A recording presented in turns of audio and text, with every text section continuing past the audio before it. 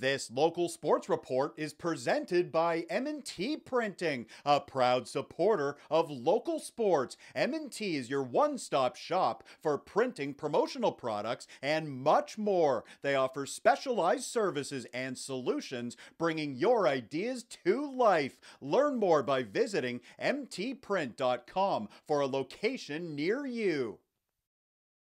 U16 preseason hockey from the Sleeman Center in Guelph. Here come the Junior Gryphons. They run home ice facing the Cambridge Hawks on Tuesday night, and the first good scoring chance going to Cambridge. It's a two on one. Jordan Sharon over to Victor Hordavat. He's all alone, stopped by Jake Doobie. Then Jack Galloway hits the post. The Hawks coming close, but we stay scoreless. Second period now, here comes Jack Darcy. He circles the net to Case and Craig in front Big stop, Jake Doobie. He stops Craig. Still zeros on the board. More Hawks pressure. This is Jack Darcy showing us his dance moves. His pass doesn't connect, but Will Ross picks it up and opens the scoring. Ross giving his team a 1 0 lead. Back come the Gryphons. They have all kinds of pressure. Nathan Boyle is stopped. Loose puck. It's bouncing around. Xavier Boussier finds it and covers up for a whistle. Still 1 0 Cambridge. And the Hawks Goalie making some huge stops. He robs Matthew Stam on this play. It's a beauty save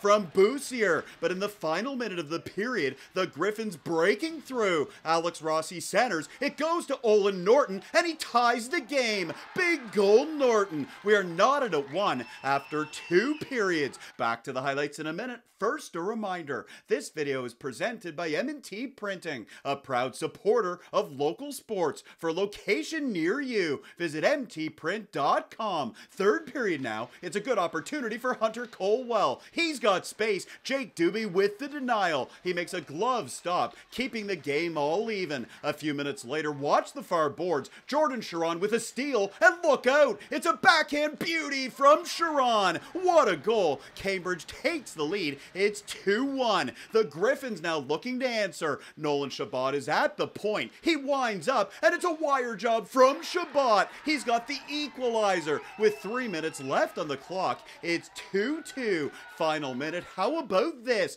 Guelph is awarded a penalty shot. Landon Mitchell coming in. Xavier Boussier coming through. He makes the stop, and that's it. Nothing decided on Tuesday night. The Gryphons and Hawks playing to a 2 2 tie at the Sleeman Center. For more highlights, visit our website, 519sportsonline.ca. Be sure to subscribe to our YouTube channel and follow us on Facebook, Instagram, and Twitter.